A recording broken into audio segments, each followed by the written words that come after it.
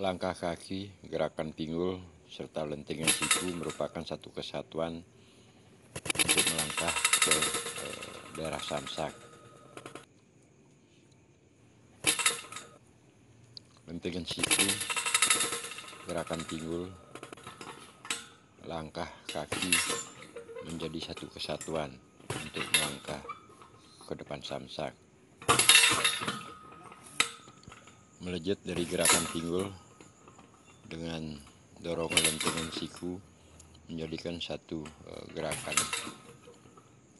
yang bersama-sama saudara samsak